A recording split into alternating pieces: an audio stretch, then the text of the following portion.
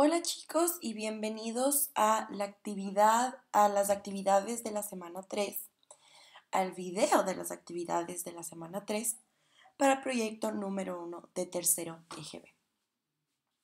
Como ya saben, hace tres semanas el Ministerio de Educación cambió su em, cambió sus fichas pedagógicas y ahora trabajamos semanalmente. Entonces trabajemos hoy en este video en todas las actividades de la semana número 3. En esta semana se trabajará con las siguientes asignaturas. Ciencias naturales, lengua y literatura, matemáticas, estudios sociales, educación física, educación cultural y artística e inglés. El tema es Te presento mi cantón. Eh, la actividad número 1 la haremos en color rosado y dice, actividad 1, el cantón donde vivo. Responde en forma oral las siguientes preguntas. ¿Qué sabe, ¿Sabes qué es un cantón?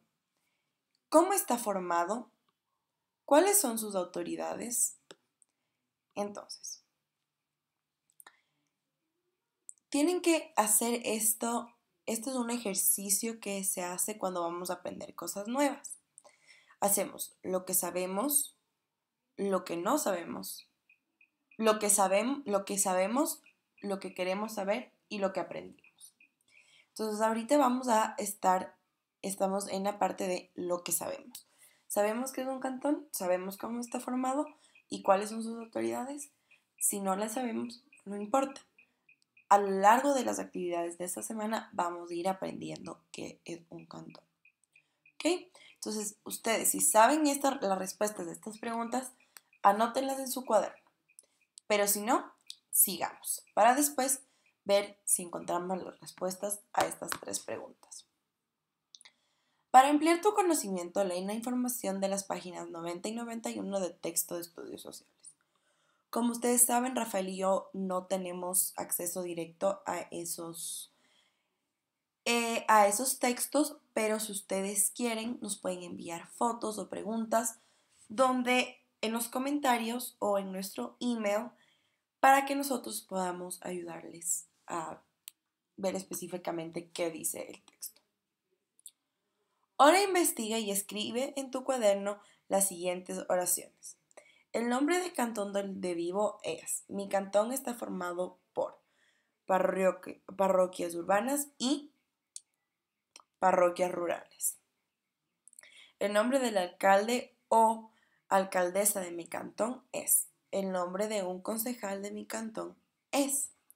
Entonces, vamos a utilizar nuestros recursos, ¿verdad?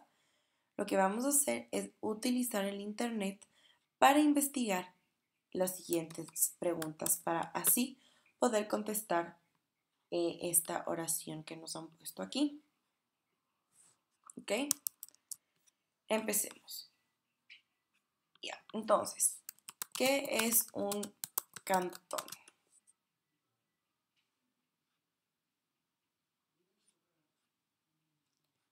No sé por qué me parece así otra vez.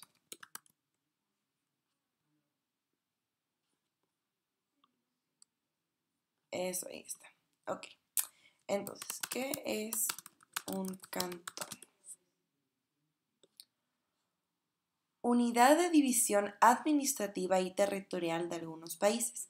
Puede construir el primer nivel de división como ocurre en algunos de estos estados, en algunos estados federales, o estar por debajo de entidades mayores como provincias, departamentos, etc.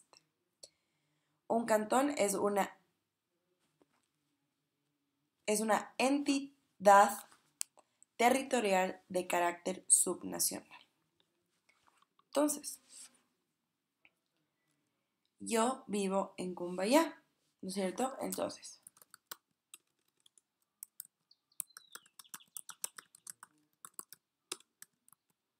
cantones en Cumbayá. Tumbaco, Cumbayá, Nayón, Puembo y Pifo buscan formar un nuevo cantón independiente de Quito, la capital de Ecuador.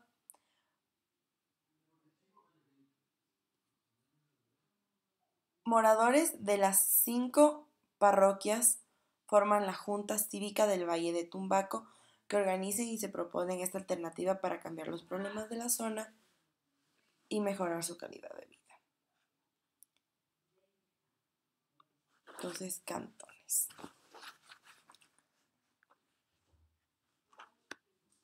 Eh,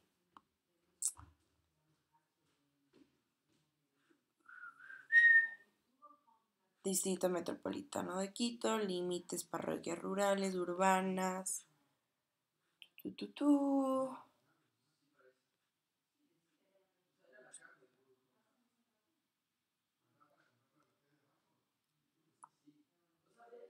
Veamos en dónde. Aquí está Cumbaya. Entonces vamos a completar lo siguiente. Ahora investiga, escribe y completa en tu cuaderno las siguientes oraciones del nombre del cantón en donde vives. El nombre del cantón en donde vives es Cumbaya. Ustedes pueden utilizar el internet o esta página para ver. Hay el Belisario Quevedo, Carcelén Centro Histórico, Chillabulo, eh, Chillogallo, Chimbacalle, entonces ustedes pueden usar el internet para saber dónde está su, dónde, en qué cantón vive. Entonces yo voy a poner aquí Cum, porque no me alcanza Cumbaya. Mi cantón está formado por cuántas parroquias urbanas y cuántas parroquias rurales. Ah, no, mentira.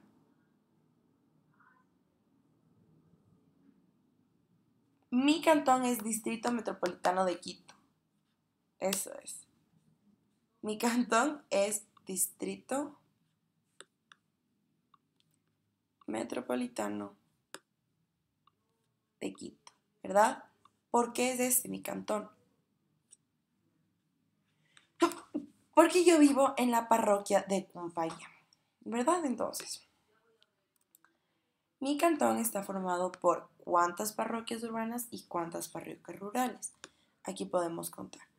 Parroquias, urbanas, 1, 1, 2, 3, 4, 5, 6, 7, 8, 9, 10, 11, 12, 13, 14, 15, 16, 17, 18, 19, 20, 21, 22, 23, 24, 25, 26, 27, 28, 29, 30, 31, 32. 32 parroquias urbanas. Y 1, 2, 3, 4, 5, 6, 7, 8, 9, 10, 11, 12, 13, 14, 15, 6, 17, 18, 19, 20, 22, 23, 24, 25, 26, 27, 28, 29, 30, 31, 32 y 33. ¿Verdad? El nombre del alcalde o alcaldesa en mi cantón es... Veamos si esta página nos ayuda. Esta página no tiene, entonces vamos a ir a otra.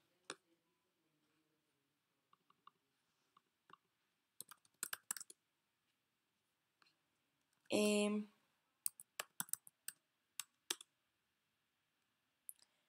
alcalde del distrito metropolitano de Quito, Jorge Yunda. Entonces, así es como utilizamos nuestros recursos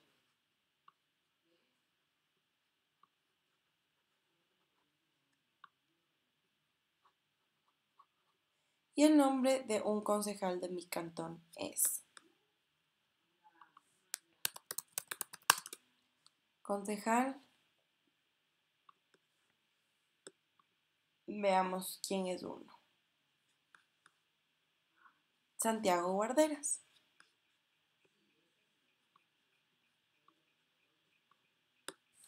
Uy, ¿qué pasó?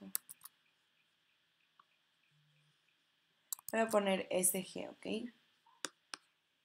Santiago Guarderas. ¿Ok? Según lo que leíste en el texto, Elige ser una de las autoridades del cantón y escribe una propuesta que consideres que hace falta para mejorar la calidad de vida en tu cantón. Digamos que yo decido ser el alcalde. Em, digamos que yo decido ser el alcalde. ¿Qué cambios yo quisiera hacer? ¿Qué cosas quisiera yo cambiar?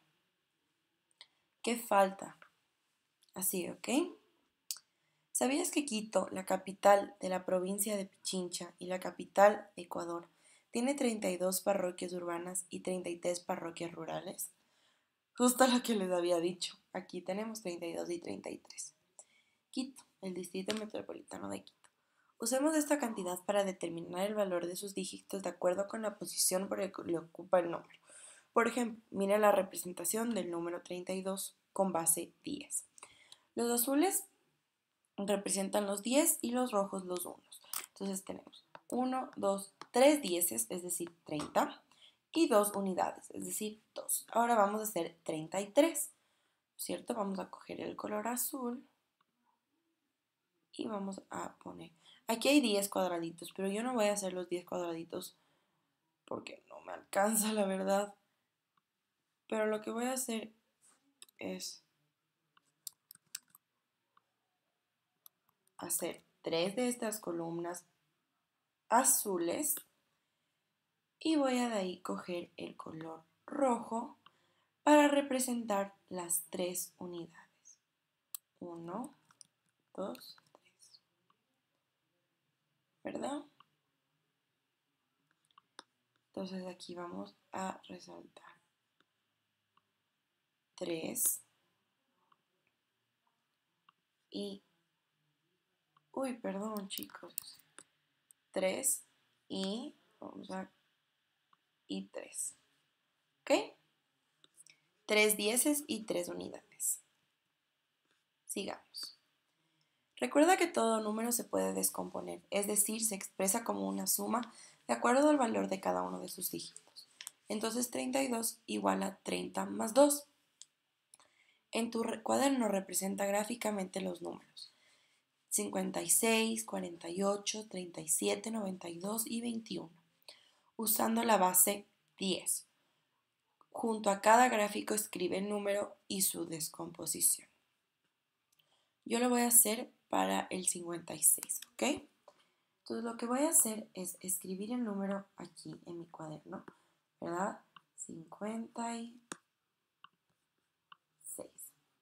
De ahí lo voy a descomponer.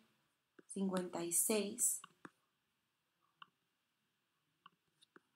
igual a 50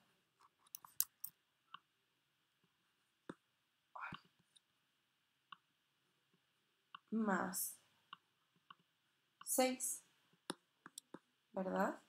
Y ahora voy a utilizar los dieces, ¿verdad? Las columnas dieces para representar esto gráficamente. ¿Verdad? Entonces, tengo 5 dieces porque 10 por 5 es igual a 50. ¿Verdad? Y 6 unidades porque estamos igualando 56, ¿verdad? Entonces lo que hago aquí es 6 de estas cajitas.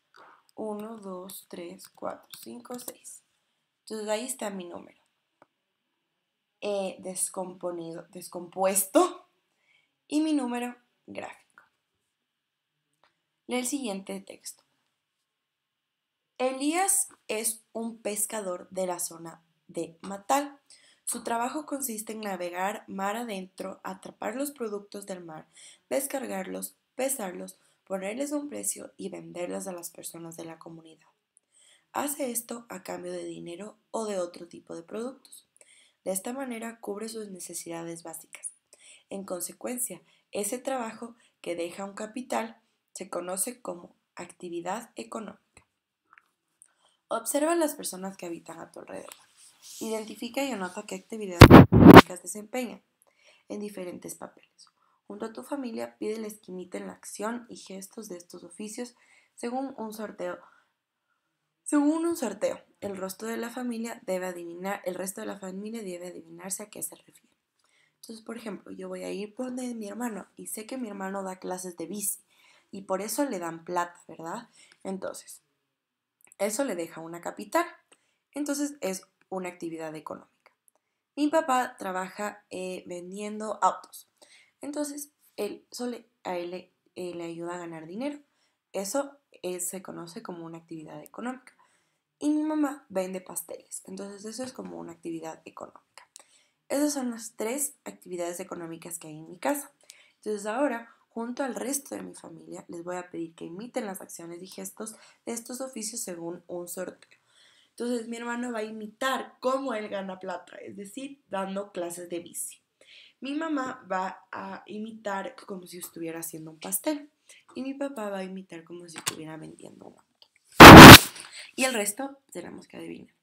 Puedes leer con tu familia el cuento La ciudad de, los poetas en la página 218, 219 y 220 del texto de lengua y literatura. Después de la lectura, imagina que tú eres uno de los habitantes de esa ciudad. Reflexiona y contesta en tu cuaderno. ¿Cómo relacionarías, reaccionarías ante la prohibición de intendente Capurro, del intendente Capurro, ¿qué harías para resolver ese conflicto? ¿Cómo mantendrías las costumbres de contar historias en verso y cantar poemas? Como les digo chicos, eh, Rafael y yo no tenemos em, fácil acceso a los textos eh, de sus escuelas, entonces lo que les recomiendo hacer es leer el texto, contestar las preguntas como ustedes mejor puedan y si tienen alguna pregunta una vez más, no duden en preguntarnos. Recuerda, los conflictos son oportunidades para aprender y mejorar. Uy, ¿dónde se nos fue la actividad 2? Uy, perdón chicos, no le resalté a la actividad 2, pero la actividad 2 fue en amarillo, ¿ok? Y tienen que contestar estas preguntas después de haber leído eh, La ciudad de los poetas. ¿Ok? Ahora vamos a ir a la actividad número 3 que va a estar resaltada en azul, que es las riquezas turísticas de cantón. Responde de forma oral las siguientes preguntas. ¿Cuáles son los lugares turísticos de tu cantón? ¿Qué lugares importantes de Ecuador has visto? Entonces yo les voy a dar un ejemplo. El lugar más turístico de mi cantón es el centro histórico de Quito. ¿Verdad? De ahí yo creo que otro lugar súper, em, súper, ¿cómo se llama esto? Uy, perdón chicos, no sé qué pasa con, con mi Google. Está un poco trabado. Pero sigamos. Em, recuerden que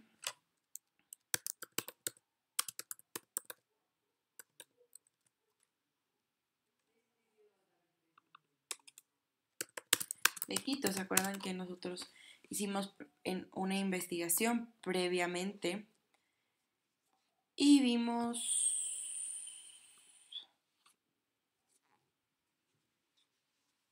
todo lo que hay aquí, ¿verdad? Entonces, yo creo que, como les dije, uno es del Centro Histórico de Quito, que está aquí. De ahí yo creo que otro sería Mariscal Sucre, que es donde está el aeropuerto, es un lugar súper turístico. Y el lugar donde inicia como que, donde la gente y los turistas vienen directo, ¿no es cierto? De ahí. De ahí yo creo que también otro lugar turístico puede ser... Mm, mm, mm,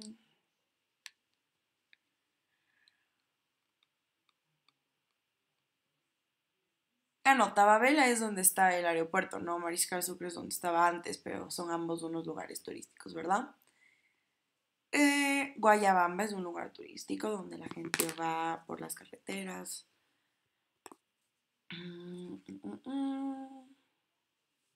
Yaruki igual, hay un montón de haciendas.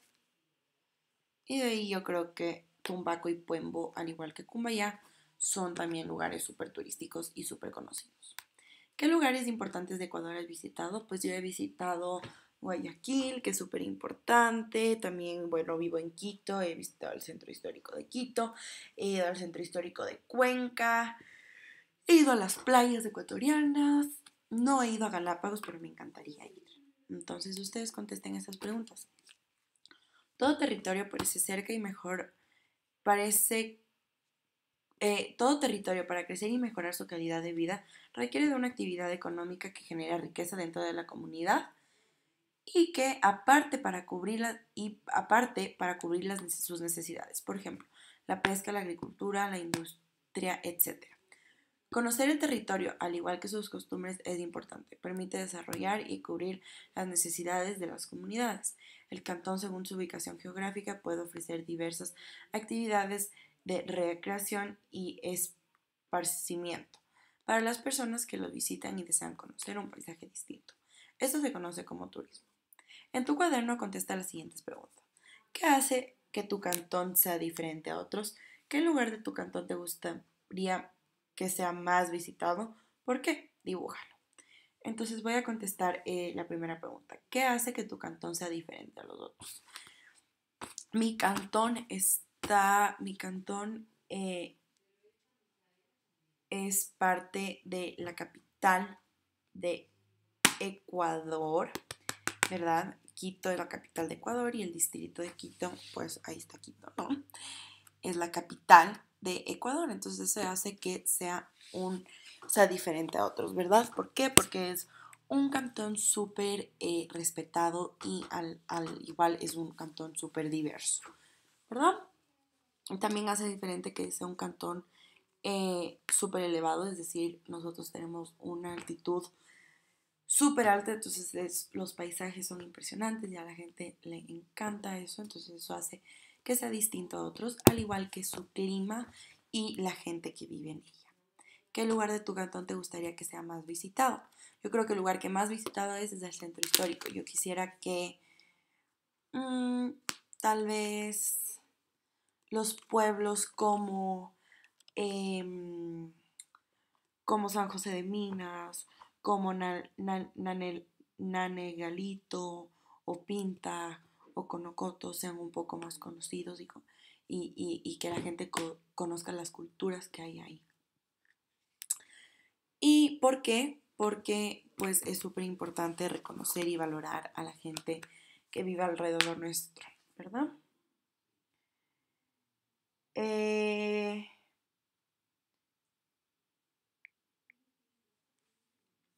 ¿Cómo dibujo eso? Dibujaría el cantón y, cómo quiero que se mejore. Reflexione y, reflexione y utilice oraciones cortas. Escribe cinco recomendaciones para los turistas que cuiden tu ciudad.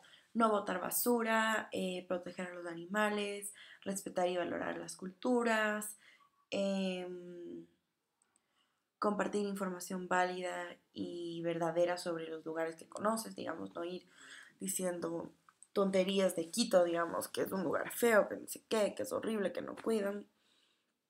Y otra sería que protejan a la gente que vive ahí. Actividad 4. Mediciones. Haremos de morado.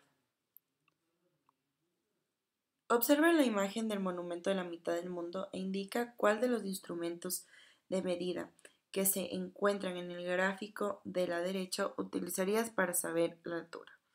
Entonces el monumento es gigante, ¿verdad? Entonces, ¿qué usarían? Usarían un termómetro, usarían una balanza, usarían un cronómetro, usarían una regla o un metro. Entonces yo creo que para medir la altura necesitamos un metro, porque eso mide distancias, ¿verdad? Los metros miden distancias, mientras que los termómetros temperatura, las balanzas peso y el cronómetro tiempo. ¿Sabías que para medir la distancia entre dos puntos, por ejemplo, la altura del monumento, el largo de la mesa o el ancho del camino, se utilizan las unidades de medida de longitud, cuyas unidades es el metro, que simboliza la letra M? Las unidades menores al metro se llaman submúltiplos y son décimos, céntimos y centímetros y milímetros. Decímetro Mide la longitud que quiere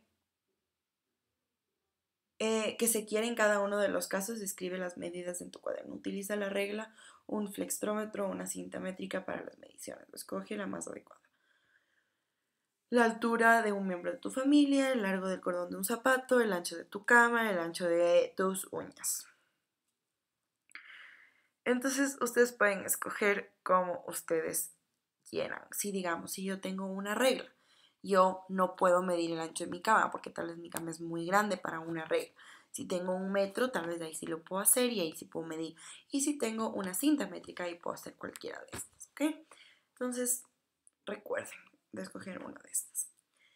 La actividad número 5 que se llama Verbs la van a hacer con Rafael, que es la actividad en inglés. Y le recomiendo ir a ver su video, ya que él hace videos por separado para ayudar con su desarrollo académico en inglés. Nos vemos la próxima semana. Chao.